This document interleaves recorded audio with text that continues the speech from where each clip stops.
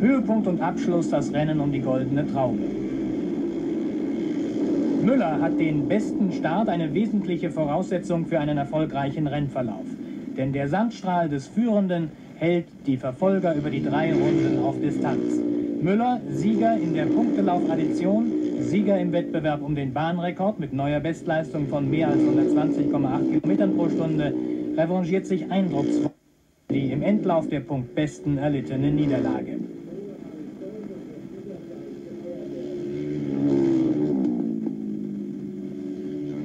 Er gewinnt zum fünften Male die Goldene Traube vor Christoph Betzel und Karl Mayer. Jedes Jahr meine ich, es ist die letzte Saison.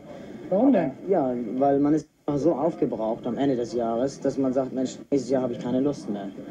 Und dann äh, die Winterpause und man hat wieder neue Ideen. Die Technik tut ihr Teil dazu beitragen, dass wieder neue Sachen sind, neue Motoren und so. Und dann reizt es doch wieder nochmal anzugreifen.